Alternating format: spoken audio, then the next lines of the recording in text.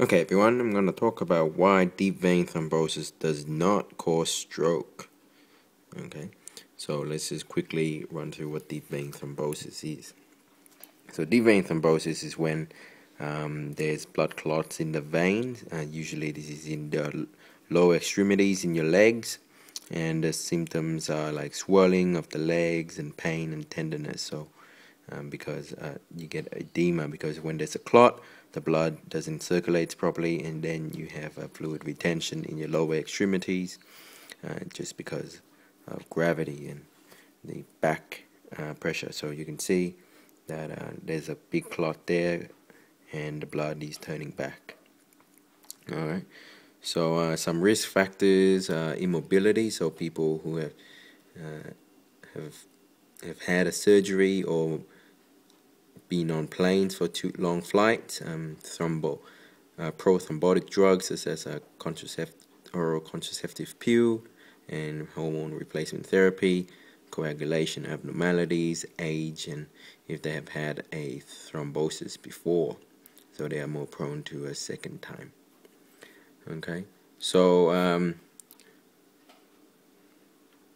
the reason why um, DVT does not cause stroke is because you see right here you have a, a little thrombus that's broken off from the main um, clot and then it's moving up the veins up into the heart okay? So this is on the right uh, so it goes into the right atrium which then get pumped down to the right ventricle and then goes up into the pulmonary circulation okay? And goes to the lungs.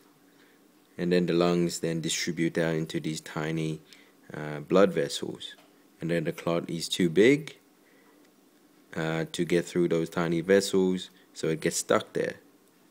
And then it forms a uh, what they call we call pulmonary embolism.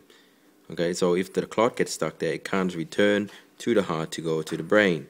So uh, by definition stroke is um, uh, has to do with the brain. And if it doesn't go to the left ventricle to get pumped up into the brain then it can't cause stroke and that's the reason why DVT does not cause stroke is because the clot is cannot get back into the heart to go to the brain. Okay, so you get a pulmonary embolism, and then signs and symptoms of pulmonary embolism. Pulmonary embolisms are chest pain, so usually sharp, stabbing pain, cough, and shortness of breath.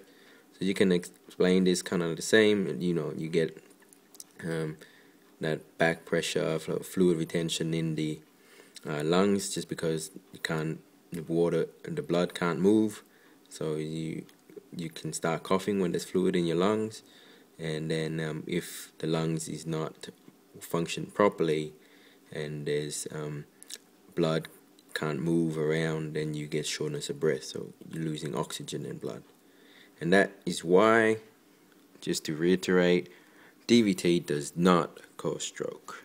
Okay?